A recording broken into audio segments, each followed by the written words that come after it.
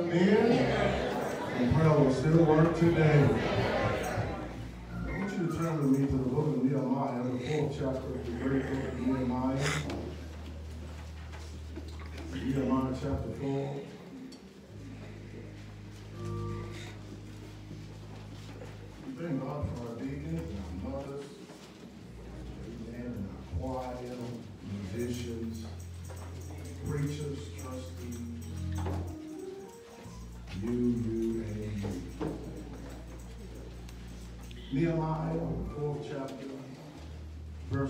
Verse number six. We'll commence reading in verse number six. So built we the wall.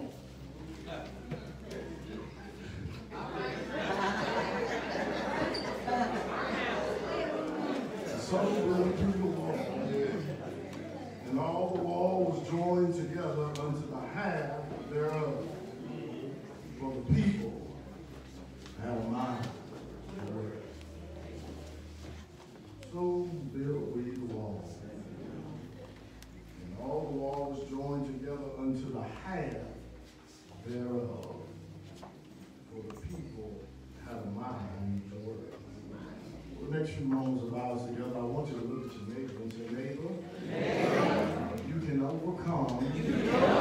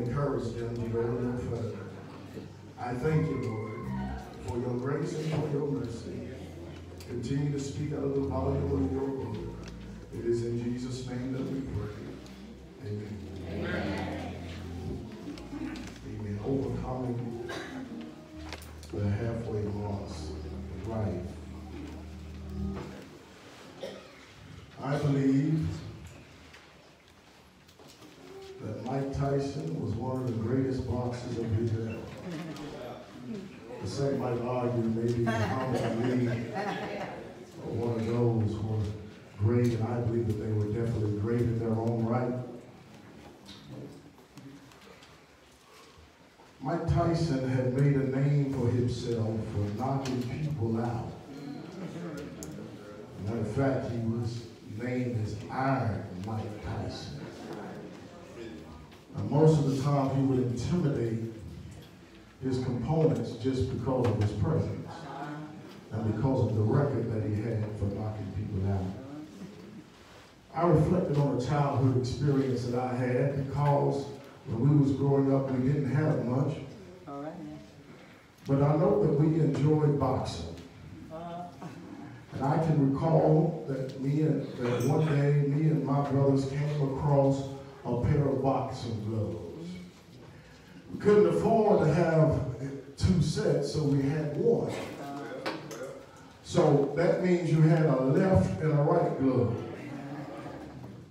And I took the right glove, and my brother took the left glove. Now, mind you, we both were right-handed. I'll come back and get you here in a minute. So I had the right hand glove, which would allow me to use the bulk of my strength. And he had the left hand glove, which was normally the weaker arm. And so we began boxing, and uh, if you want to call it that.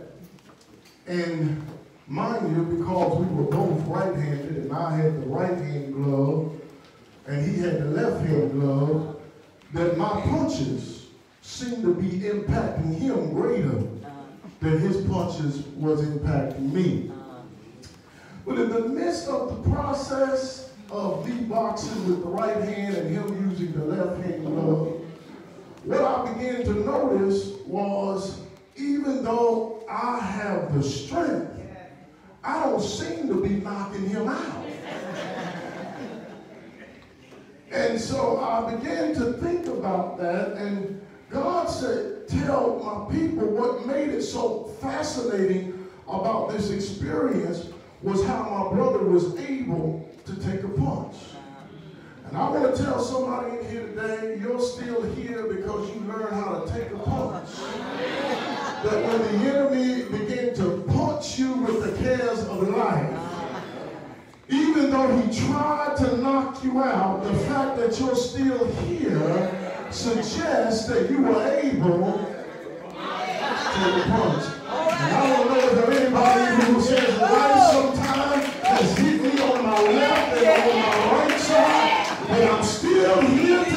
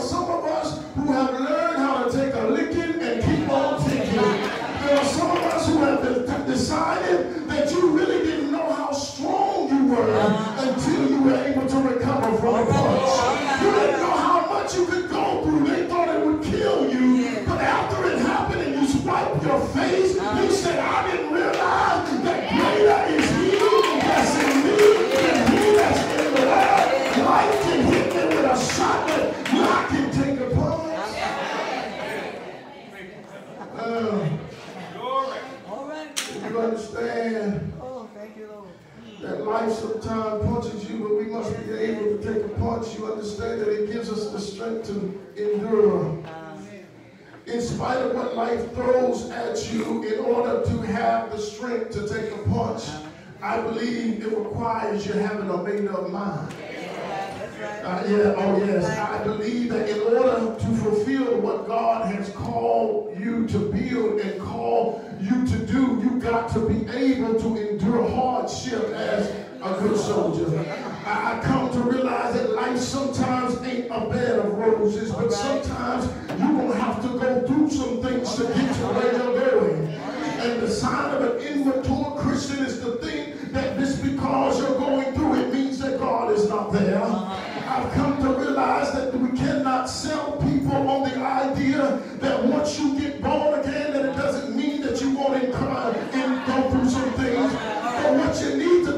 to today, after all that you've gone through, and the fact that you are still here, suggests that even when the enemy has used some of his greatest forces to knock you out, you might have stumbled, but you're still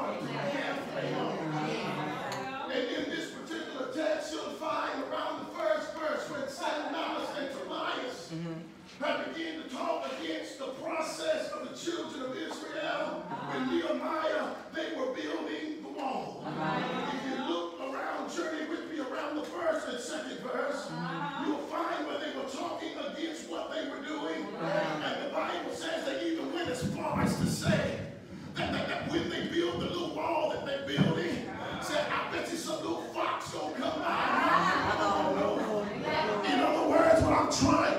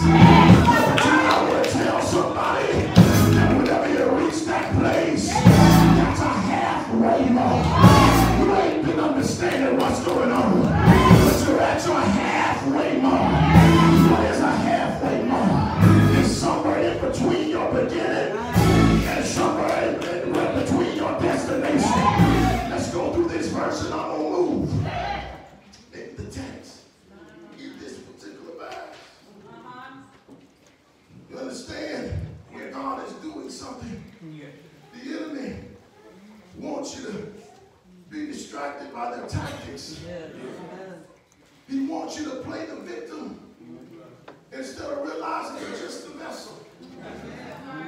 And that you got the victory. You don't realize the, he don't want you to start believing that I'm closer to my better than I am to my worse. He don't want you to start trusting that everything is going to be all right. But some of us got to be careful that we don't fuss back, that we don't holler back, that we don't cuss back.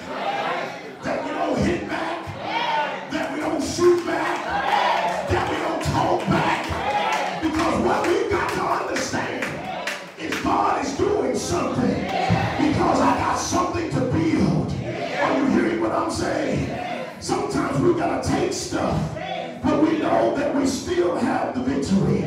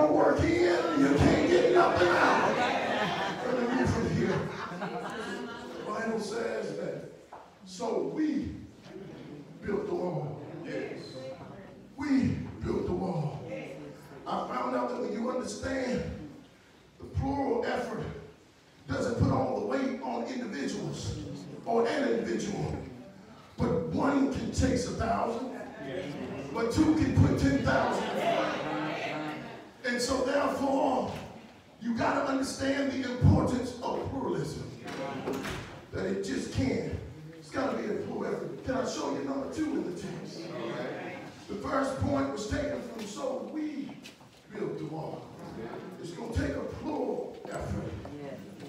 But the other part of that verse says, and the wall was joined together, half thereof.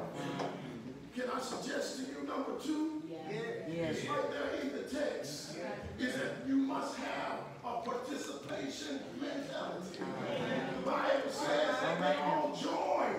Yeah. You got to understand not only can it be a plural effort, uh-huh. but it's got to take somebody who's willing to participate. We got too many times people want to sit back and see how it's going to be uh-huh. so that they can critique and criticize what you've done. Uh-huh. But if you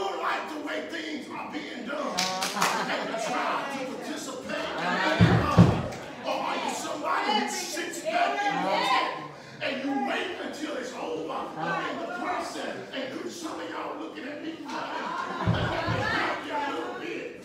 You start in your house, you start to give orders. Make sure you are doing what you're asking us.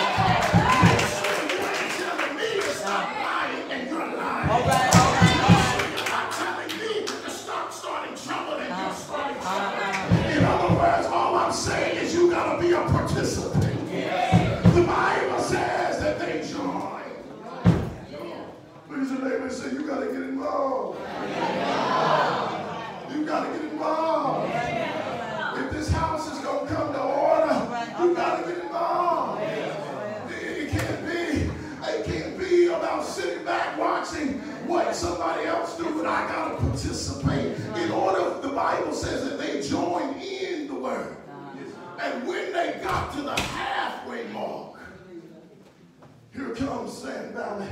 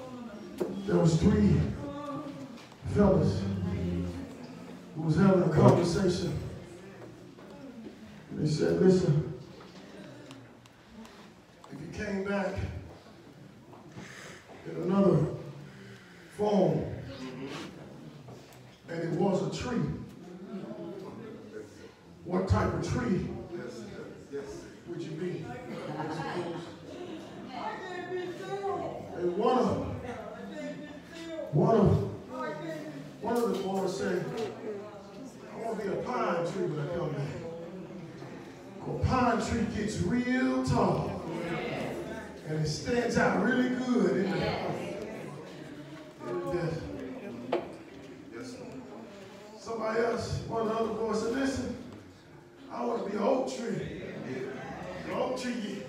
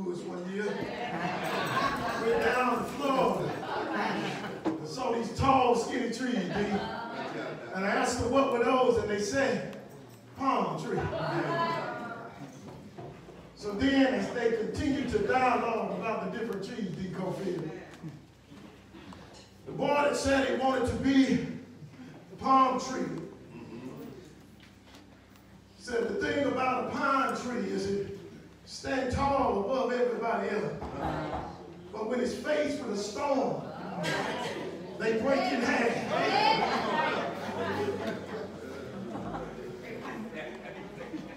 so even though they're tall and they look good, they can't stand up under pressure.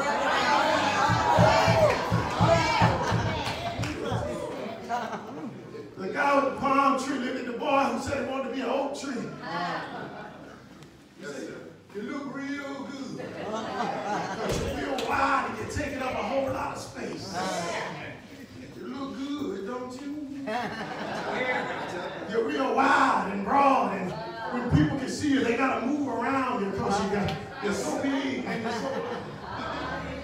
He said, but with your face of stone, All right. your branches spread out, right. which prevents you from taking any kind of root. Okay.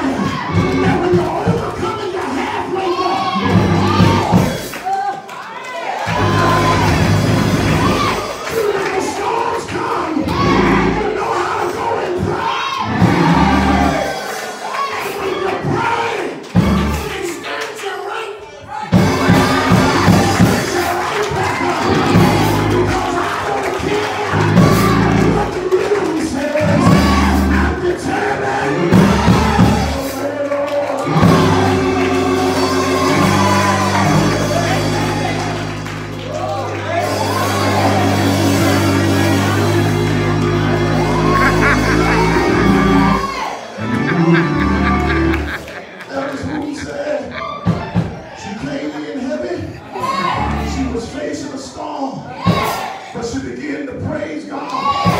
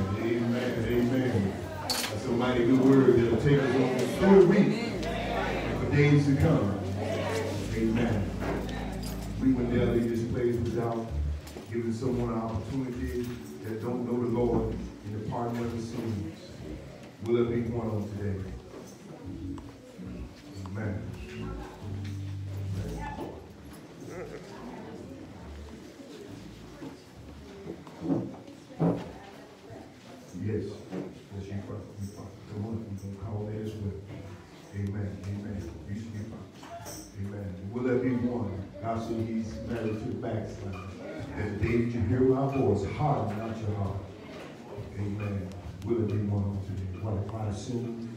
Amen. Last but not least, will there be one that's looking to be a member of this fine church where the word is preached each and every Sunday? Will there be one? Amen. But Lord, we know that if we give it all to you, you're going to make everything all right. God, we want to ask you to bless every family that's here on today, every home that's represented on. God, most of all, we ask you to bless our pastor, God. Bless him right now, God. Touch his body from the crown of his head to the sole of his feet. God, we ask you to bless his family, dear Lord. Just let your angels encamp around about him on today, God. We're going to thank you for it, Lord. Lord, we're going to thank you for it now. We're going to thank you for it, God. We're going to not wait till the battle is over, but we're going to shout now, giving you praise. Giving you uh, what you're doing in this church on today. God, we're going to thank you for it right now. It's in your name that we pray this prayer. In Jesus' name, let everybody say amen. Amen. amen.